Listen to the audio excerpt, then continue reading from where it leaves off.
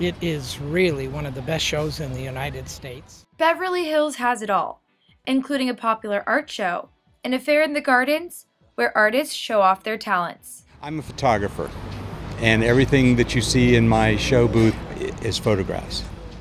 These digital photographs have a paint looking quality to them. I'm so damn happy to see the things that I see and be able to capture it. And even happier is to have people enjoy looking at it and buying it. Art by BB Lewis aims to capture the nightlife of hip and trendy cities. They find really good vendors that have original art that, you know, we like, and it's things that we'd like in our home. Pause, a local artist, paints in different genres.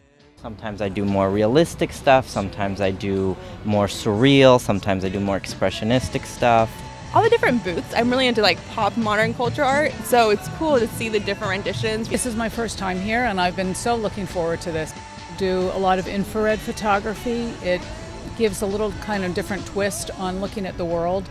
I Always have a good time. There's a lot of good art, a lot of nice people, good food. We like to support local artists. The Beverly Hills Art Show is held twice a year and features over 250 exhibitors from around the country.